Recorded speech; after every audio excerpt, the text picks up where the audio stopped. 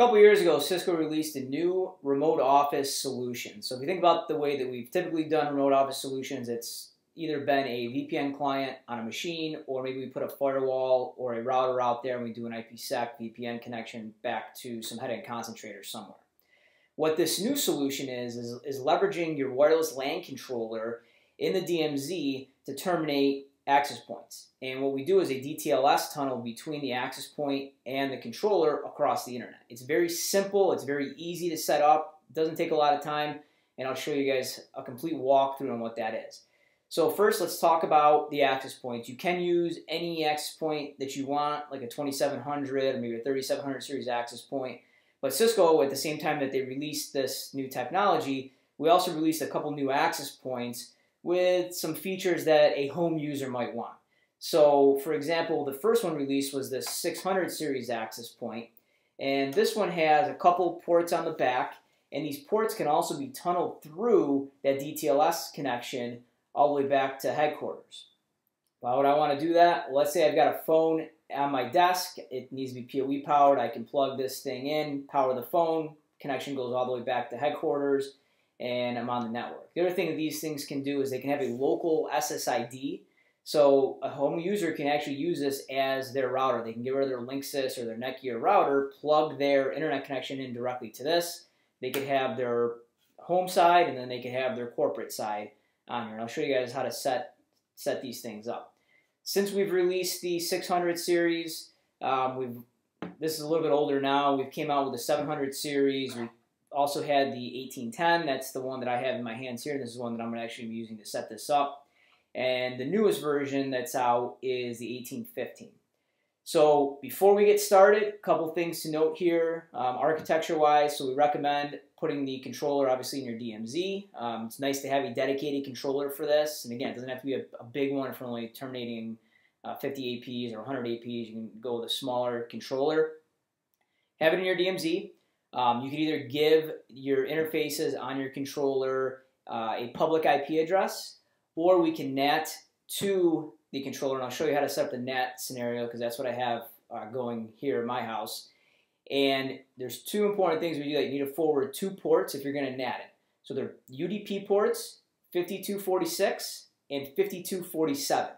So you need to make sure you have that set up to the IP address of your controller's management um, AP Manager interface for this to work. So guys, let's get into it and I'll show you how to control it and configure it. Okay, so let's get into the configuration now.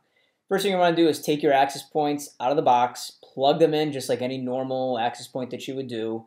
They're going to boot, they're going to go into local mode, they're going to associate to the controller just like any other access point would. We're going to do a couple things on the controller first, and then I'll show you guys how to set the access points up for the Office Extend mode. So the first thing that we want to take a look at is we want to make sure we have the DTLS license installed on our controller. To do that, head over to Management, you're going to select software activation, licenses, and then this is where you can see all the licenses you have installed. And data encryption license, that's the one that we're talking about right there. Um, I have it already installed in my box. If you don't have it in here, it is a free license. You need to go to cisco.com forward slash go forward slash licenses or license and you can download it from there. I'll put the link in the description of this video so you guys have access to it. If you don't have it, go there. You will need to go to the tool and put in some information. Where you find that information is from controller, inventory, and it's going to ask for the UDI information here. Um, it's going to ask for the product identifier, and it's also going to ask for the serial number. Once you put those in there, it's going to spit out this the, the DTLS license for you. Next, we're going to go in and we're going to create our WLANs. So these are this is the SSID that's going to be broadcasted out at the user's house or the small office. To do that, we're going to go to the top here, click on WLANs, and we're going to go ahead and we're going to create a new one. Say go, and you know what name do you want? So this is going to be home office and we'll just name it that for the time being. And we're going to make sure we're on the WLAN type there at the top and click apply. So in here, you know, set this up however you guys want. We'll enable it, obviously. Let's go to the security page here. I am going to do a very simple policy here. So we're going to just do pre-shared key and some simple. And once you get that information all set, just hit apply. And we've got our one WLAN created. We can take a look at it here. Home office is the one I just created. Now, remember I said that the ports on the back of these Office Extend APs can be tunneled back to headquarters as well. So let's set that up. In order to do it, we're going to hit create new again. But this time, instead of setting up a WLAN, we're going to set up a remote LAN. And we'll give it a, a name here. We'll not be very creative today, and we'll just put in remote LAN is what we're going to call it. And this is for those wired ports. We can enable this as well. It's going to go back to the same interface there.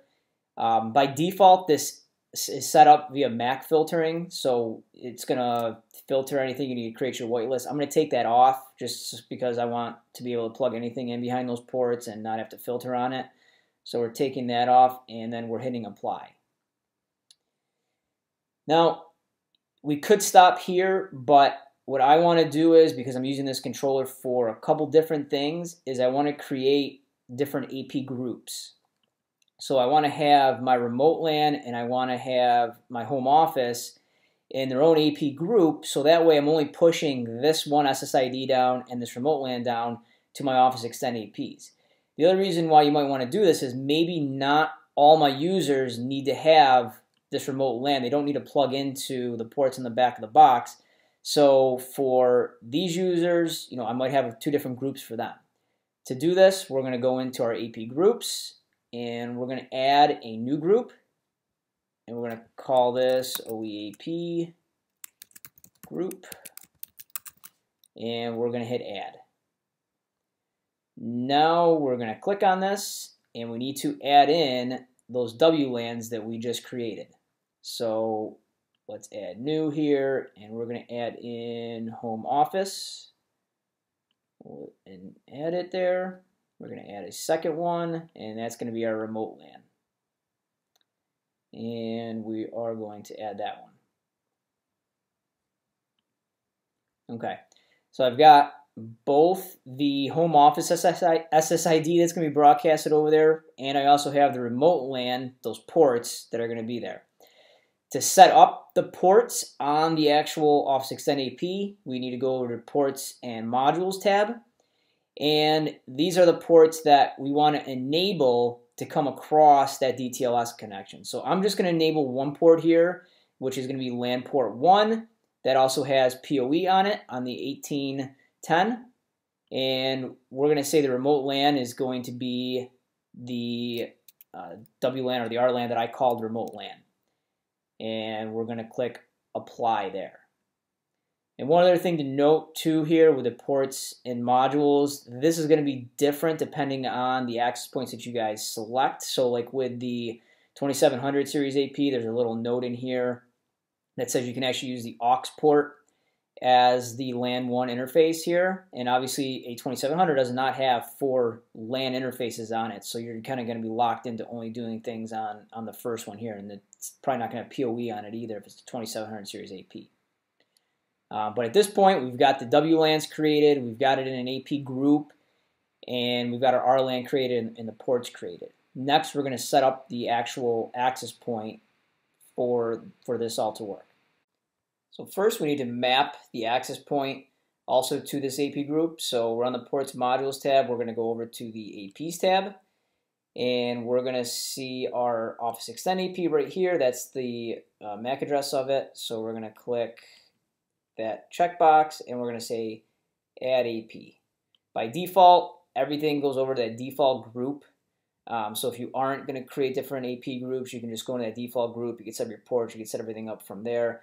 But we'll double check it. We'll go into our OEAP group. We'll see our WLANs are set up, and then we'll see our APs in this group. And it actually bounced right now, so it's not in here, but it would show up uh, right here once it's uh, once it's in there. So to set up the access points, we're going to head over to wireless and we're going to see our Office Extend AP that we plugged in. Um, again, I'm using the AP 1810. So we're going to click on that. And the first thing we need to do is we need to change this from local mode to Flex Connect mode. I'll click on that and we'll apply it. And the AP might reboot, might take a second for this thing to come back online. And then we need to go over to high availability. And in here, we need to put the wireless LAN controller name. VLC1 is what mine's called. And the management IP address. So this is, when we plug it in on an internet connection somewhere, this is the address that it's going to be broadcasting out to to connect with and make that DTLS tunnel.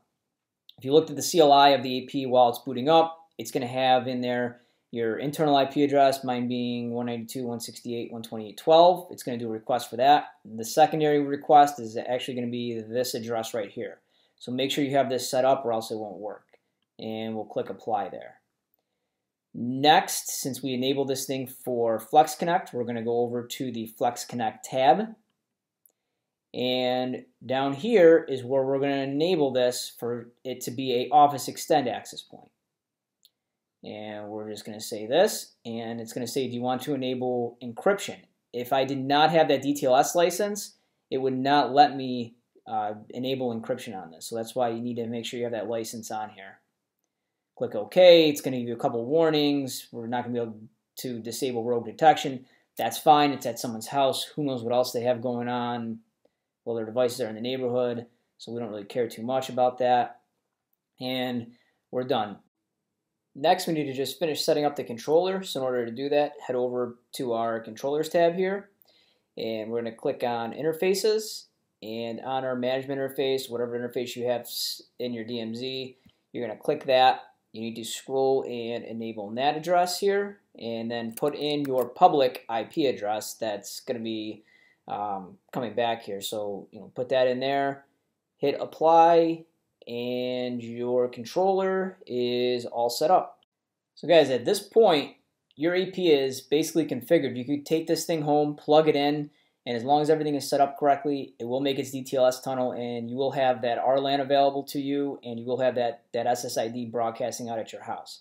I'm to take you through a couple more things here, I think that are things that you should know about, a couple tweaks here and there. Um, but again, at this point, you are done. So the first thing that we're going to talk about is how to set up the personal SSID for the person if, if you wanted to set it up for them. Or you know you can have them take it home, plug it in, and they can set it up for themselves. To get into the local GUI of the AP, just grab the IP address of it as it's plugged in, and we'll head over. It's going to say login. Default username is admin admin. That's for the 1800 series, and we'll just go in there like this. First thing you could do when, when you're in here is configure the username and password. And you might want to do this because you may not want all your users coming in here. You might want to set it up for them, and that way you control the username and password here. Um, but you can come in here. I'm not going to walk through all the steps. This is pretty simple to configure. You can set up your SSIDs right here. You can set up your DHCP scope over here. Your WAN connection. This is one of the settings I kind of wish they'd lock out uh, I really don't want someone that has access to this thing coming in here and playing with this before they, they break it, and then the AP doesn't call home anymore because they, they mess with this IP address here. But uh, that's in here for now. And, you know, again, some other basic stuff here, firewall, backup restore. You know, I'm not going to take you through everything, but that's kind of the gist to this. So if you wanted to, let's say, block all users from um, having access to the local interface, there is a way to do it. It is a global configuration setting. You know, I kind of wish that, again, this wasn't a global configuration setting. which I can kind of tune it per access point, but that's the way that uh, Cisco wanted to set it up for here. So to get to this option, it's under wireless, global configuration, and then disable local access. And again, global configuration settings, so that's going to disable uh, local access to all of your Office Extend APs. And the next thing I'll show you guys is how to do whitelisting of Office Extend APs. So you know, for whatever reason, if you want to throw the MAC address in there and only these Office Extend APs can get through and make a connection, uh, you can do that up at the security tab here. And if you go over to the MAC filtering, this is here where you would throw in the MAC addresses of those Office Extend APs um, that you want to connect. Everything else will just kind of be blacklisted. I'm not going to set this up just because I'm trying to do things as simple as possible, but this is where you do that. So the next thing I'll tell you guys, and this is actually kind of important because it, it got me when I when I originally set this up, is back over to controller and your interfaces. Once we put this one interface into NAT mode, any new access points that I plug in won't associate to the controller. They won't they won't see it.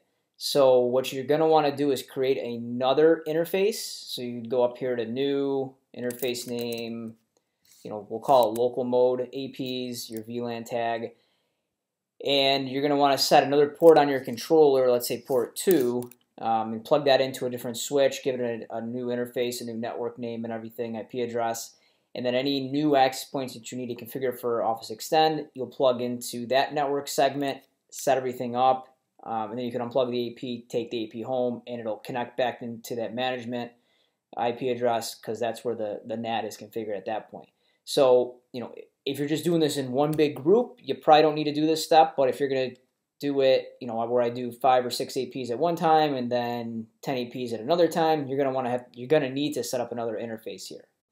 So I just took my Office Extend AP that I just finished setting up, plugged it into another internet connection, let it boot up, and if we come to our wireless tab here at the top, we can actually see here's that Office Extend AP that we just set up. Here's the IP address that it's coming in from, and it looks like it's online and everything's good. So we're going to go in, we're going to just double check on this thing here. So if we click on it, we see that it's on. If we go over to the Advanced tab, we can actually see the latency that's that it's coming back at and give this a little bit of time. This isn't really showing anything yet but after a couple minutes you'll actually see the latency that, that's coming across here. And guys that's it. It works. Uh, I just finished testing it out. No issues on over here. If you have any questions please post them. Um, hope you guys liked the video. Subscribe to the channel and thanks a lot